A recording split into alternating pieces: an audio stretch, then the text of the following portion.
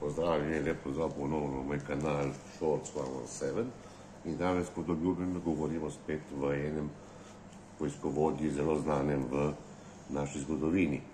In to so bili Gali. To je bil ta vojskovodja, vemo dobro, kdo je bil, to je bil Singatorex. Singatorex je bil v bistvu vodja poglavarnega manjšega plemena v Galiji, kateri se je voskoval, da združi Gale skupaj. In ko je združil vse te Gale skupaj, je ratal kralj, galjski kralj. To je video ena. Ko pa je združil vso to Galijo skupaj, to je segalo, danes bilo v moderni dobi, cela Francija, Luksemburg, Belgija, pa vse do pol Švice.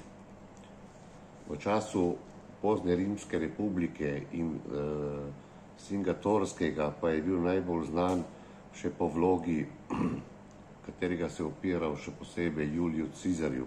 On je bil rimski Cizar takrat, kateri je osvajal prav ta predel Evrope, zahodno, severne, Galskega imperija.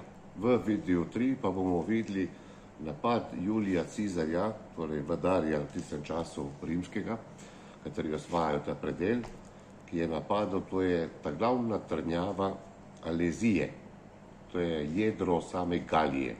In kako jo je uničil?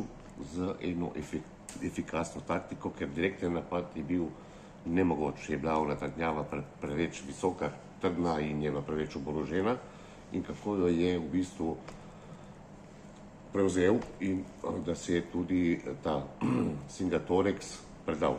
Pa dajmo si pogledati video 3. V četrtem videu pa imamo prav Julija Cezarja, kateri govori v njegovi najvišji zmagi, katerega je prav njega, Singatorexa.